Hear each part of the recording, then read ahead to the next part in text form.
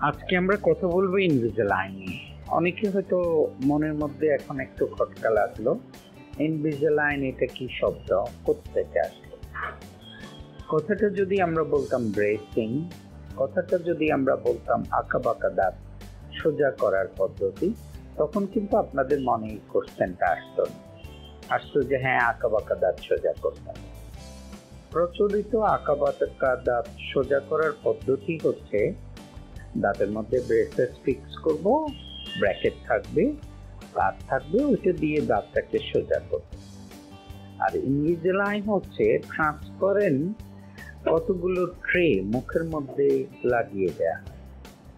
এটা কখনো তিন বছর পর্যন্ত এটা লাগিয়ে দেয়া।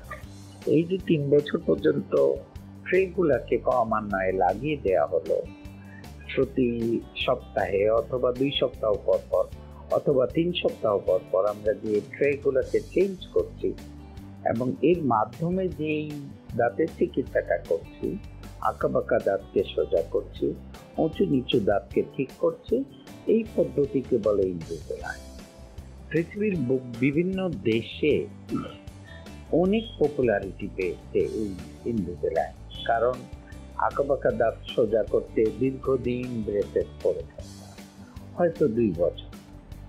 কিন্তু এই পদ্ধতিতে কোনো ব্রেসেস করার দরকার নাই, অথচ ট্রান্সপারেন্ট কতগুলো ট্রে যেটা দাঁতের মধ্যে লাগালে বোঝাই যায় না, যে কিছু একটা মুখের মধ্যে আছে। সেই জিনিসটা দিয়ে এই পদ্ধতিটা, এই চিকিৎসাটা শেষ করা সম্ভব হচ্ছে।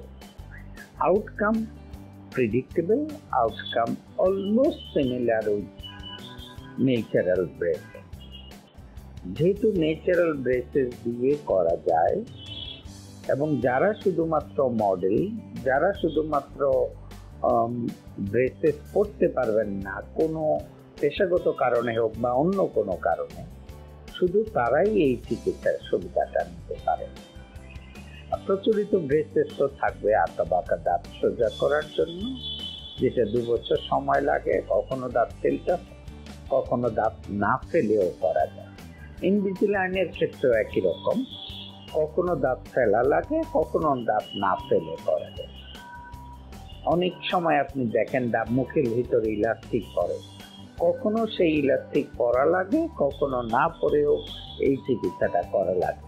ইনভিজিলাইনে ইলাস্টিকও পরা দরকার হয়, দাঁত ফেলারও দরকার হয়। সুতরাং আপনি প্রচলিত ব্রেস এবং এইটার মধ্যে খুব বেশি ডিফারেন্স আপনি পাবেন। আপনার মনে হবে দুটোই একই রকম পদ্ধতি।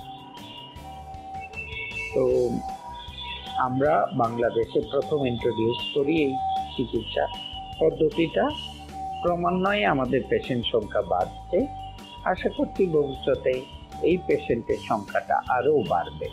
কারণ আমরা এখন পাইলট প্রজেক্ট হিসাবে এগারো জন পেশেন্ট নিয়েছি, যাদের আমরা এই কাজ করছি।